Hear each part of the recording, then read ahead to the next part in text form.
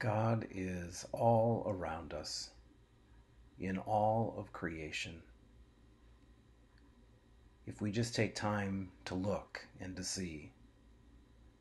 As I travel throughout our conference, I'm reminded of God's presence in our lives, like a glowing sun through the trees, or the frost that covers the hills God is there in all these moments if we just stop and take time to notice. The image of a small bird perched in a tree reminds us of the beauty and the awe of creation.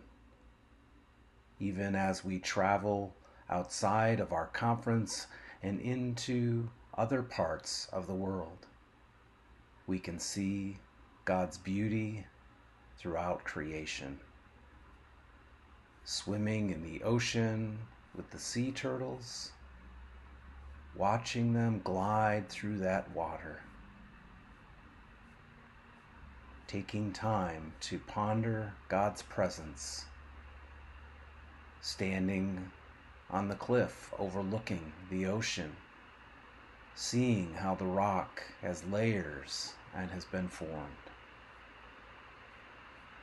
Watching, taking notice of all the amazing ways in which creation reminds us of the endless possibilities of God's creation and God's ability to create, continuing to create, making something new, building something more expanding our minds and the concepts to embrace a new way of thinking.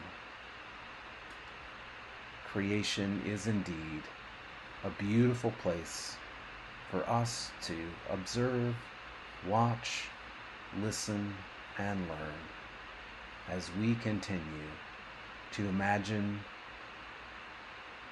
who God is in our lives on this day.